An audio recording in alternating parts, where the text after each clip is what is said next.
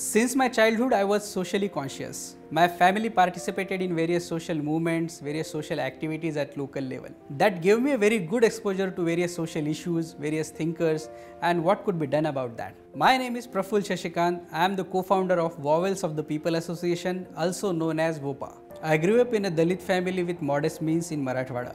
I could attend school because my parents thought education is very important for any person. After my school years, I went to engineering at Aurangabad. After my graduation, I started preparing for UPSC services. And at the same time, I attended few camps at Gadchiroli along with my friends. In those camps, I was exposed to various social thinkers and various methods of social change making. That gave me clarity that with my skills and my passion, I wanted to work in school education domain. And that gave birth to Vowels of the People Association.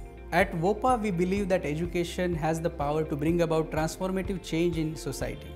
VOPA strives to provide joyous and meaningful education to the most deprived and remote students in Maharashtra. To create an impact at scale, we leverage the technology and network of the government. An important aspect of this process is to train the teachers to create educational content in local languages. In 2019, when COVID hit us all, education was also impacted. Suddenly, education went online. When we studied various applications available in the market, we realized that those are not made for children. Those were designed for other purposes and now they are being used for educational purpose.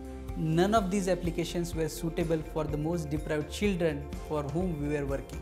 We built a simple platform that would host educational content in local language and also address various issues in front of the poor children. So the platform was there. What about the content?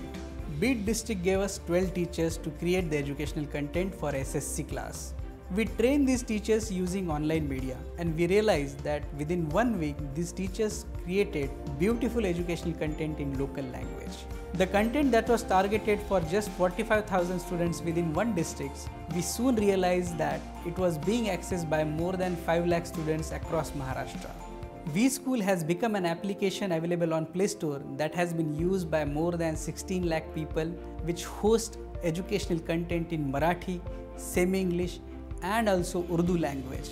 It also hosts educational resources for Sanskrit subject and various scholarship exams. In the last three years, we have worked with various Zilla Parishads, more than 2,500 Zilla Parishad teachers for more than 3,000 chapters with 10,000 plus educational videos that are made at local level.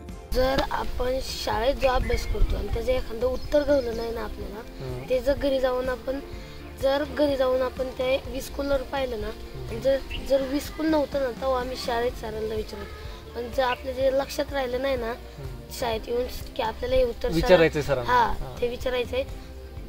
तर घरी जाऊन आहे ना दुसऱ्या दिवशी परत विचारायला यायचं पण आता विस्कूलवर आम्ही किती पण वेळा बघू शकतो की याचं उत्तर काय आहे त्याचं उत्तर काय आहे. All this content is hosted on Vschool application that runs on minimal internet and can be customised for any district or any state we aim to reach five million students in next two years we are determined to create a positive change in how we define create and consume the knowledge.